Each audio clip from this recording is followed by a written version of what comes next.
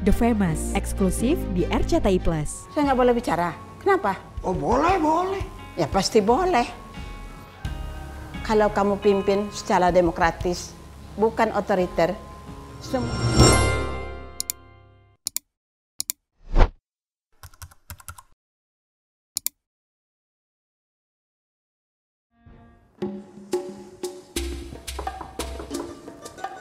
Assalamualaikum.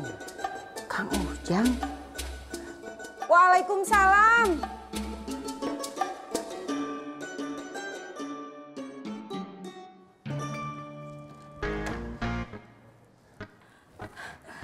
Kang Ujang, Cek Eis.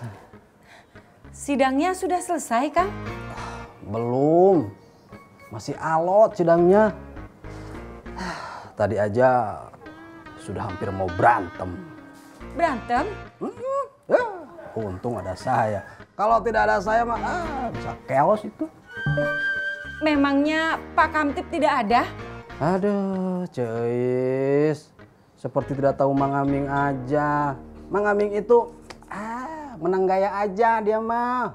Sosok aku aparat, padahal mah tidak bisa apa-apa. Eh, punten Kang Ujang, Abdullah Pup. Oh, eh, silakan.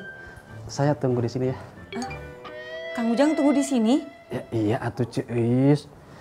Saya teh kan kangen sama Ceis. Maaf Kang Ujang, sebaiknya Kang Ujang pergi saja.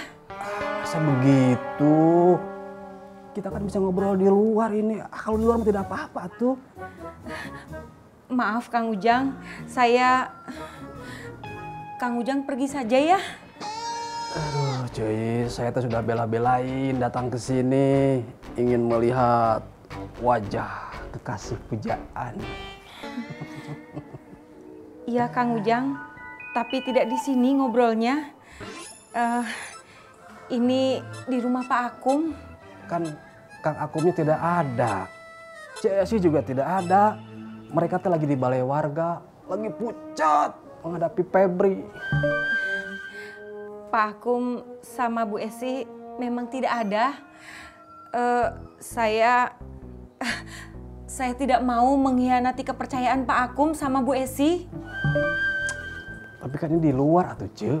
Biarpun di luar juga, saya tidak mau Kang Ujang. Maaf ya Kang. Ah, ini dia wanita pilihan saya. Saya benar-benar tidak salah pilih. Tepat. Ya sudah kalau begitu saya teh mau ke balai warga lagi. Ah, bisa riweh kalau tidak ada saya di sana. Sok silahkan, tidak apa-apa Kang. Maaf ya Kang Ujang. Ah, ya tidak apa-apa, Cici. Santai aja. Assalamualaikum. Waalaikumsalam. Aduh. Kirain datang ke sini dapat makanan. Malah disuruh balik lagi. Ah, benar-benar nggak berkah. ini.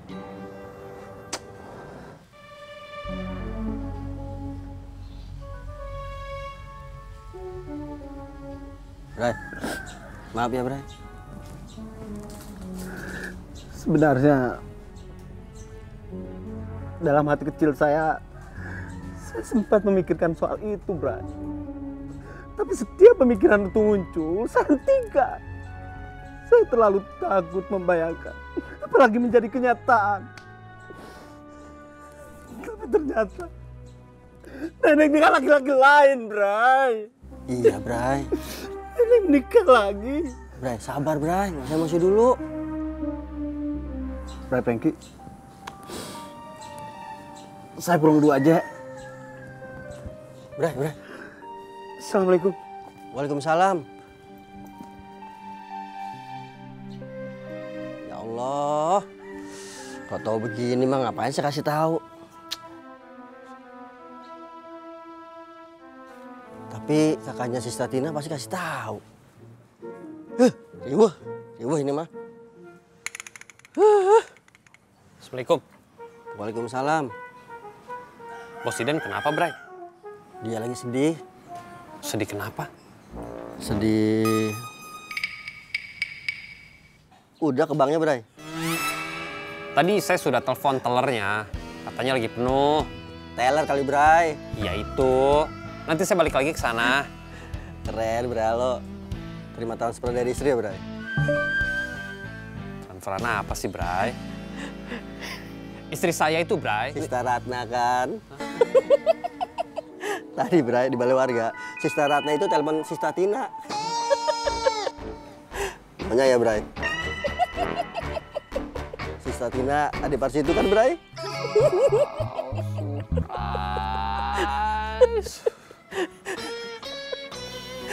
Hello, kok tiba-tiba jadi pucer mukanya, Bray?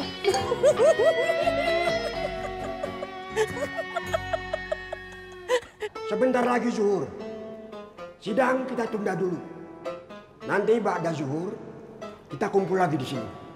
Selamat Kemi. Nanti selesai sholat, kita hajar lagi.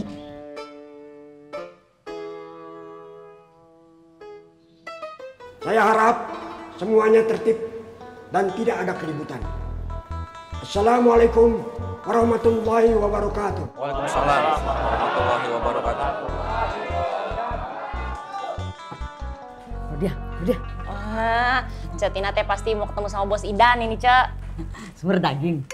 Cemar teh masak semur daging. Eh, soto Bogor.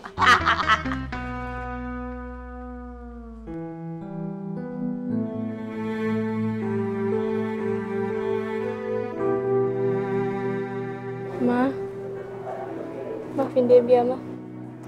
Mama ngerti perasaan Debbie. Maafin Mama ya, Neng. Iya, Ma.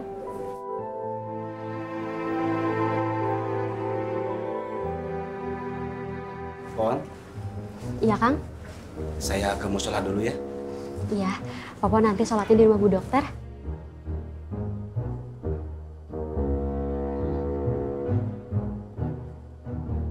Pak Saum.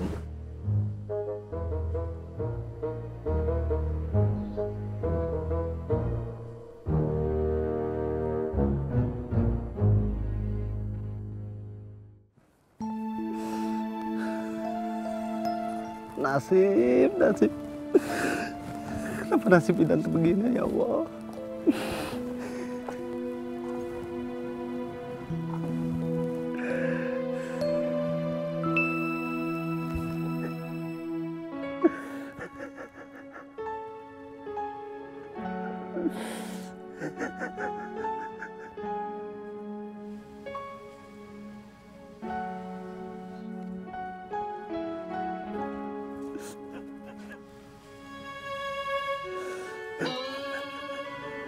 Kang Idan,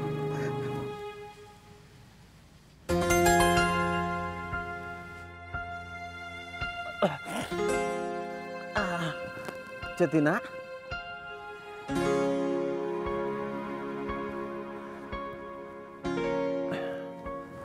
Assalamualaikum. Waalaikumsalam, Cek. Maaf Kang, tadi kakak saya Tidak apa-apa, Cek. Malah alhamdulillah. Jadi jelas semuanya. iya jelas. Tapi Kang Idan, Saya nggak apa-apa, Cek. Kalau begitu, saya pulang dulunya, Cek. Assalamualaikum. Waalaikumsalam.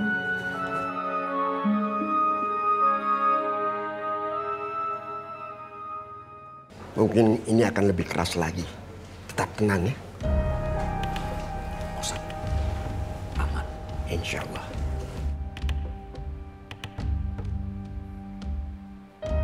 Dot. Hei, baterai habis. Tumben diem, cas lu sana. Berisik.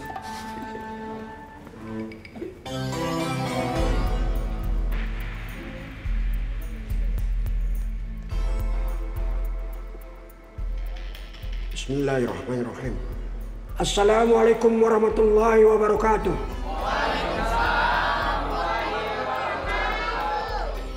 Alhamdulillah kita sudah menunaikan kewajiban kita sholat zuhur. Sekarang kita lanjutkan lagi sidang Mahkamah Ciraos untuk mencari solusi dan keputusan akhir dari masalah yang kita hadapi. Pak Ustadz, pokoknya kalau Pak Ustadz setuju sama Febri dan budaya berangkat Ciraos dihapuskan, kita akan berontak. Ya Allah, baru juga mulai. Iya, nanti kita akan ke sana sesuai hasilnya. Pokoknya kita mau berangkat. Ciyoyo, kita semua heran nih. Kenapa juga Ciyoyo telah alihkan kantor lagi ke Bu Ines? Apa sebenarnya Ciyoyo dukung Febri? Sengaja kembalikan kantor Bu Ines biar kita susah berangkat. Maaf Ece Ece sebelumnya. Yo, yo, duduk, duduk. Ibu-ibu, duduk, duduk, duduk. Pep, ada yang mau disampaikan lagi?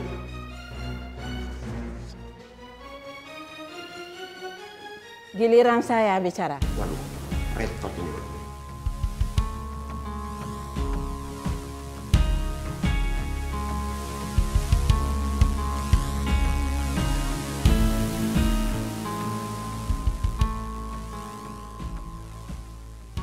Saya nggak boleh bicara. Kenapa? Oh boleh, boleh. Ya pasti boleh. Kalau kamu pimpin secara demokratis, bukan otoriter, semuanya boleh bicara. Tidak dihalang-halangi atau ditangkap. Udah kepanjangan. Ayo cepat mulai. Ampun kamu Kemi.